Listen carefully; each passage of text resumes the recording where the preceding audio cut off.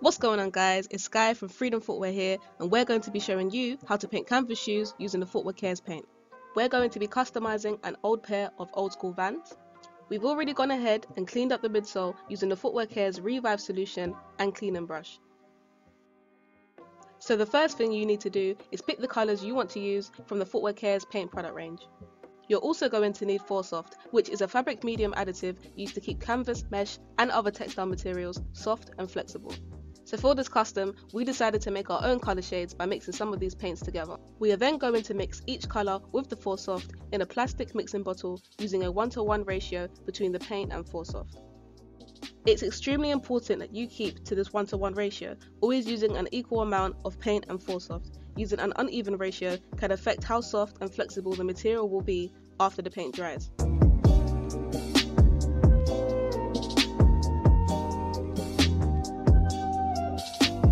Now that we have all of our colours mixed with the Forsoft, we can start painting the canvas material. We'll be using a number 6 flat brush, which is great for filling in large areas. Make sure that you're not loading up your brush with too much paint, as this is our first coat, we're not too worried about how saturated this layer is. We just need to make sure that we get a full and even coverage. If you're worried about getting the paint onto unwanted areas of the shoe, make sure you tape them up beforehand. But if you're like me and sometimes prefer not to use tape, a great way to keep your lines clean is to use the very end bristles of your brush and work the paint into those tight areas. A great way to do this is to start painting slightly lower and work the paint upwards using light strokes. And for those really small areas, we're going to switch to a number 2 brush just to fill in any gaps we may have missed. Here we're going to apply those very same tips to painting around the eyelets on the shoe. Again, make sure you start painting slightly lower and allow the paint to spread into those small creases.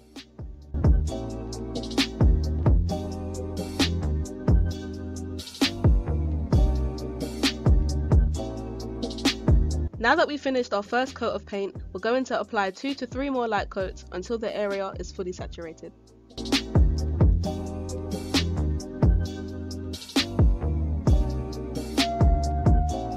The last step is to heat set your paint at 150 degrees Celsius, preferably using a heat gun for 3 to 5 minutes. This allows the paint to properly bond with the shoe.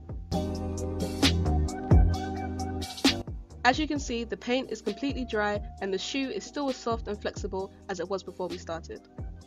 Using everything we've learned so far, we're going to add the rest of our colours and finish this custom.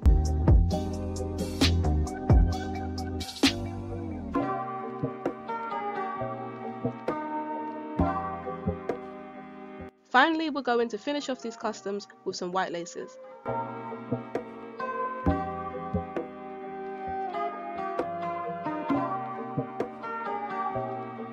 The products used in this video are available on the Footwear Care's website.